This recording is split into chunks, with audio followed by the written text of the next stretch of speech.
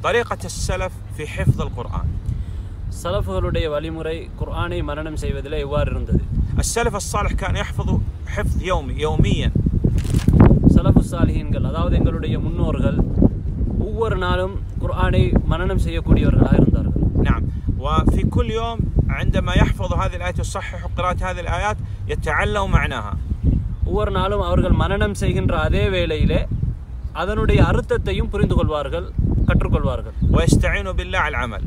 அதே நேரத்திலே அந்த சொல்லப்பட்ட விடயங்களை கொண்டு அமல் செய்வதிலே செயல்படுத்துவதிலும் அல்லாஹ்விடத்திலே அவர்கள் உதவி தேடுவார்கள் نعم فلا بد أننا نحفظ حفظ يومي على ما كان عليه السلف مع التدبر والنظر والعمل எனவே நாமும் ஒவ்வொரு நாளும் மரணம் செய்ய வேண்டும் அதை பு- புரிந்து கொள்ள வேண்டும் அதை செயல்படுத்த வேண்டும் சிந்தித்து புரிந்து கொண்டு அதை செயல்படுத்துவதும் எங்களுக்கும் அவசியம் أهم ما يكون عندنا حفظ سورة الفاتحة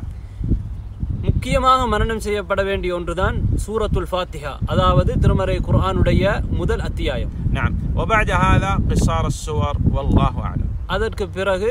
சிறிய சூறாக்கள் சிறிய சூறாக்கள் அஹ், வரக்கூடிய சூறாக்களை நாங்கள் மரணம் செய்ய வேண்டும்